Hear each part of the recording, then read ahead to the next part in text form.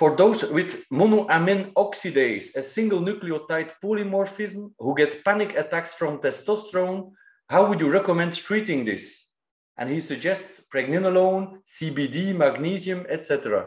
This video is sponsored by Misumi, the number one pick for men on TRT. Shop now at Misumi's using the link in the description under this video.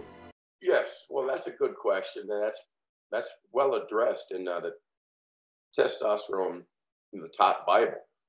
Um, Dr. Uh, Rob Kominiarek had a good section in the TOT Bible regarding that, and it's, it's been his experiences, and along with mine, that if you have a patient experience some, some anxieties, and the research indicates that about 37%, so more than a third, of men have that monoamine oxidase SNP.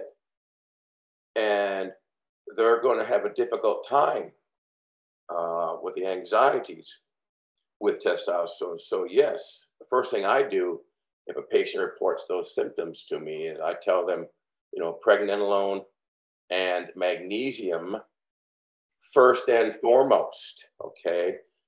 I've never had a bad outcome. There's really no downsides to pregnenolone. You're either going to feel it or you won't. Some people don't like it, but there's no such thing as pregnenolone toxicity. Um, I think everybody should be in at least 100 milligrams of pregnenolone uh, daily. That's the way I feel, both men and women. Uh, magnesium, is very, very important. As we know, it's involved in over 800 enzymatic or meta- metabolic processes in our biochemistry, uh, up from the 300 we thought it was involved with. There's a bunch of different magnesiums, however, at least seven or 10 that I'm aware of, maybe more. But there are different magnesiums which are more bioavailable, uh, such as glycinate, uh, bisglycinate, uh, threonate, uh, mag-threonate is the only one that really has no problems crossing the blood-brain barrier. So given that, if I have a patient that has anxieties, which basically come from the brain, correct? I use uh, magnesium threonate in doses starting at three to 400 mgs a day, but then I'll try to get the patient to 750 to 1,000 milligrams of magnesium threonate daily to help assuage the anxieties that a third of men feel come on with testosterone optimization therapy. Now you mentioned CBD.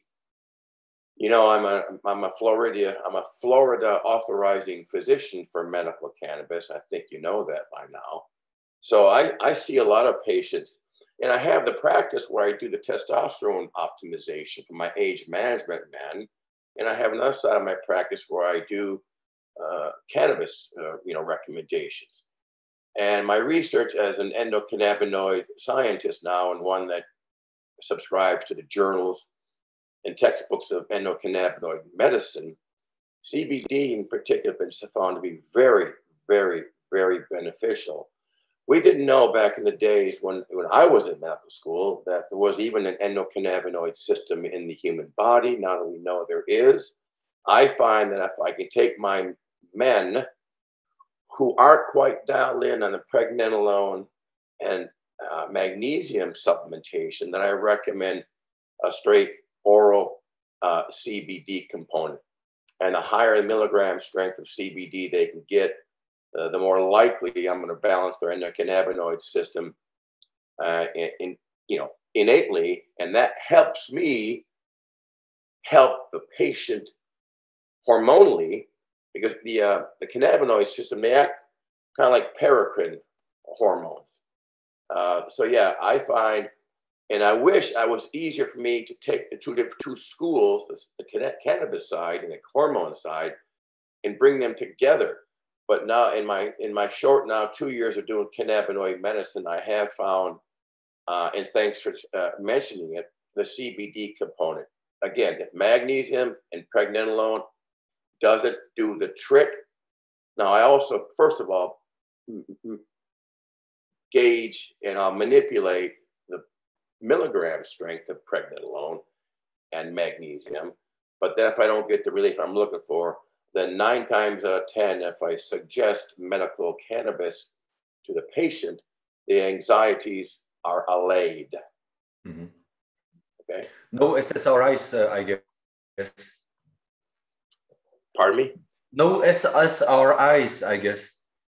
No, I'm I'm I'm not a proponent of uh, psychopharmacology. I think SSRIs are a joke. Um, they don't they don't cure any uh, neurotransmitter imbalance, but they will create one. Mhm, mhm.